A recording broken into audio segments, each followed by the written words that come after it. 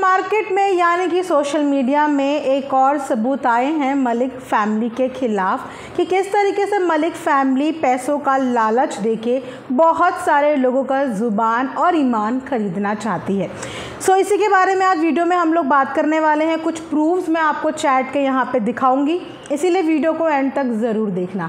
So hello hi welcome back to my channel earth mom Dehradun मैं हूँ ज्योति और welcome है आप सभी का मेरे चैनल पे।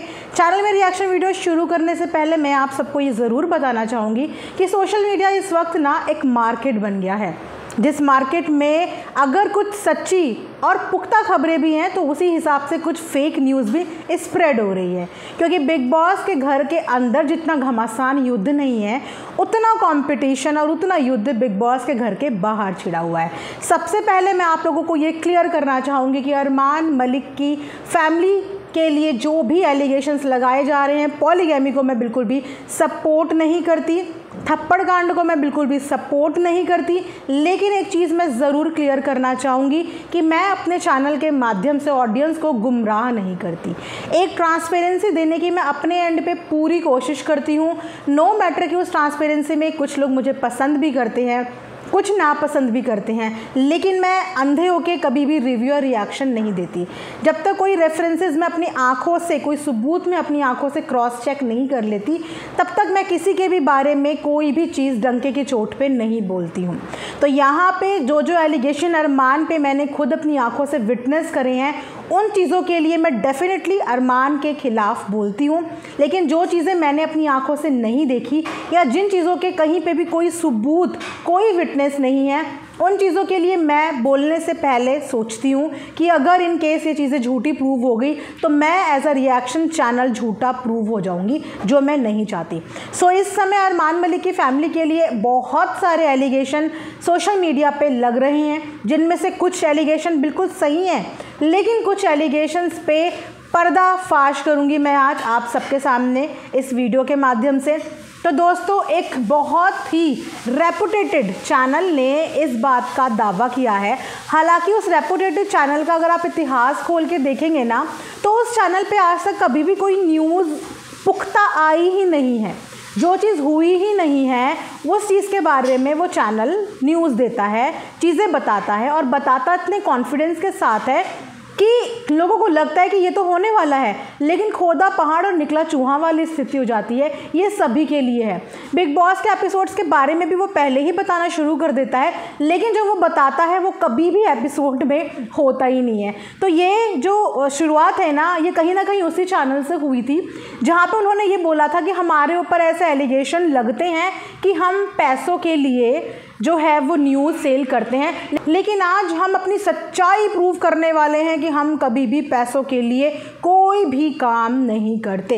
अरे, उस चैनल में एक तो सही और सॉलिड न्यूज़ दिखा दो, जिसके भी बारे में बता रहे हो, चाहे चंद्रिका हो, चाहे शिवानी हो, कुछ भी सच नहीं है उस चैनल में। टॉप टू बॉटम और उस चैनल ने एक नई न्यूज़ सर्कुलेट करी, जहाँ पर उन्होंने बताया कि किस तरीके से उनको एक लाख रुपए का ऑफ़र दिया गया। न्यूज़ चलाने के लिए मलिक फैमिली के द्वारा। ठीक है, इस समय मलिक फैमिली ने बहुत ग्लिच करे हैं, बहुत गड़बड़ घोटाले करे हैं, बहुत गलत चीज़ें करी हैं, जिसके लिए डेफिनेटली आप लोगों को उन्हें सपोर्ट नहीं करना चाहिए। लेकिन झूठ को भी तो सपोर्ट नहीं करना चाहिए। झूठ तो झूठ होता है, सच तो सच होता है, और झूठ की आँखें ना हो भले ही, क्योंकि हर चीज़ को देखने के लिए सबूत चाहिए होते हैं, लेकिन झूठ ज़्यादा लंबे समय तक नहीं टिकता। और मैं अपनी ऑडियंस को बिल्कुल भी गुमराह होने नहीं दूँगी कि कल को आप बोलो कि हमने अर्थ मॉम के चैनल पे ये चीज़ देखी थी, और ये तो झूठी निकली, इसीलिए झूठ को प्रमोट नहीं करूँगी। तो उस चैनल पर यह बताया गया कि एक लाख रुपये का ऑफ़र हुआ है उस मीडिया चैनल को अपने लिए पॉजिटिव न्यूज़ बुलवाने के लिए।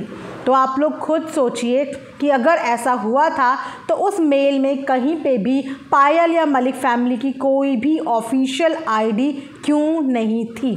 और एक इंसान जो खुद अपने व्लॉग में प्रमोट करना छोड़ चुका है और बोल चुका है कि उनको घर भेज दो, उनको घर भेज दो अरमान और कृतिका को, क्योंकि उन लोगों ने खुद ये चीज़ें एडमिट कर ली कि बिग बॉस में जाना उनकी सबसे बड़ी गलती हो गई।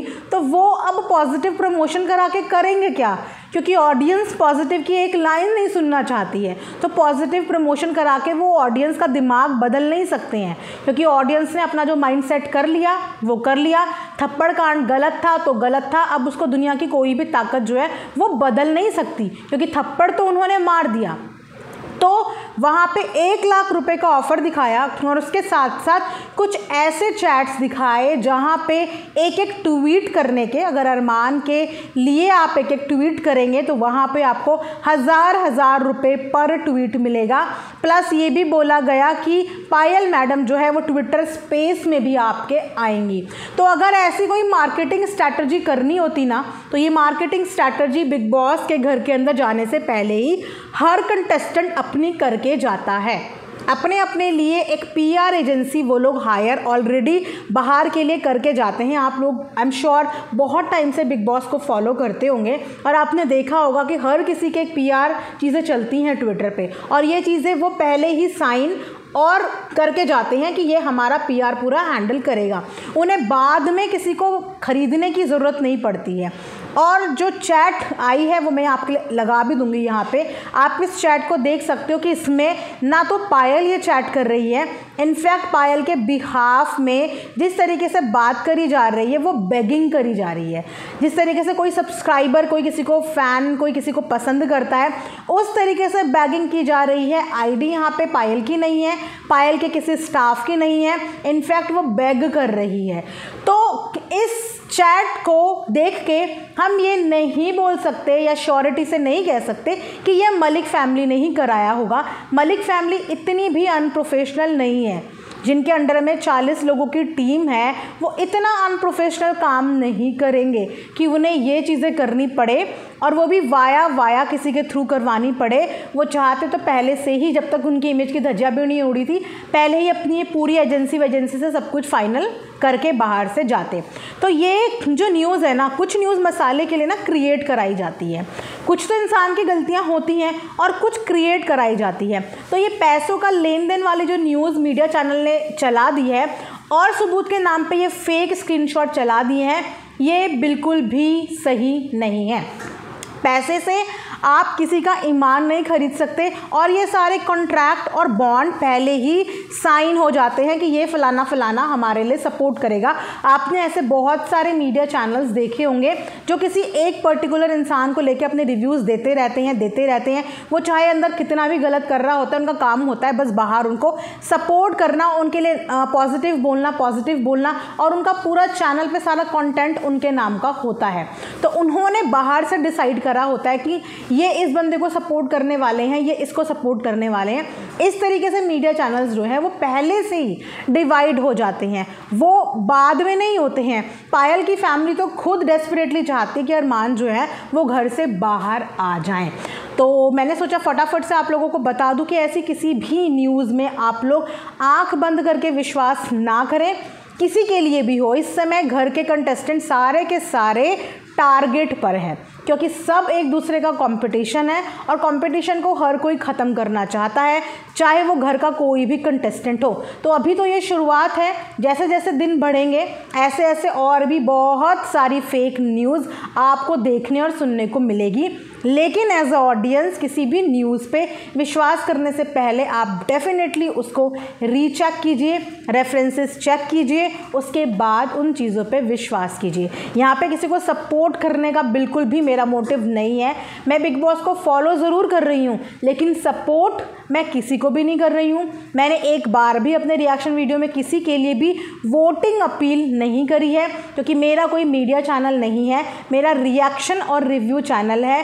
जैसा जैसा सोशल मीडिया पे न्यूज़ आती हैं, उसके हिसाब से मैं पूरी कोशिश करती हूँ कि मैं सच्ची और एक ट्रांसपेरेंट न्यूज़ आप सबके सामने लेके आऊँ, क्योंकि ऑडियंस गुमराह हो गलत फहमी का शिकार हो, मैं ये बिल्कुल भी नहीं चाहती हूँ। तो आप लोग इस चीज़ को कैसे भी ले सकते हैं बट मेरा मकसद सिर्फ़ इतना था कि जो चैट्स आई हैं, वो फेक चैट्स हैं। आई होप कि आप लोगों को ये रिएक्शन वीडियो पसंद आया होगा। कमेंट सेक्शन में अपना फेवरेट बिग बॉस कंटेस्टेंट का नाम ज़रूर लिखना, जिसको आप चाहते हैं कि बिग बॉस की ट्रॉफी लेके आए। कमेंट सेक्शन में आप उसके लिए वोटिंग अपील कर सकते हैं। मेरे कमेंट सेक्शन के दरवाजे हमेशा हर किसी के लिए बिल्कुल खुले हैं। आप अपने पसंदीदा के लिए वोटिंग अपील और सपोर्ट की डिमांड कमेंट सेक्शन में बिल्कुल बेधड़क और बेझिझक होकर कर सकते हैं। Thanks for watching earth mom Dehradun